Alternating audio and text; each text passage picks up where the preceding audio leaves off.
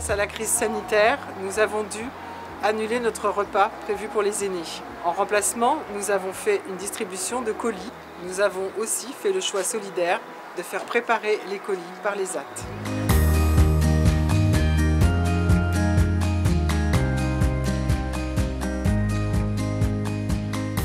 Nous sommes heureux que quatre commerçants et artisans locaux aient répondu favorablement à notre demande pour la conception du colis des aînés. Notre idée, c'était vraiment de faire travailler les commerçants et artisans de la ville de Bourgogne. Et pour illustrer le tout, une, une dame, Marion Leboeuf, illustratrice native de Bourgogne, a, fait la conception de, de, ces sacs qui sont remis donc à chaque aîné. Je trouve déjà que l'organisation est intéressante. Euh, on n'attend pas, euh, c'est par, euh, par ordre alphabétique. Et Donc c'est très bien fait. Velouté de carottes et châtaignes. Oui, c'est des choses locales. Hein, je pense que c'est une bonne idée dans, le, dans la période actuelle.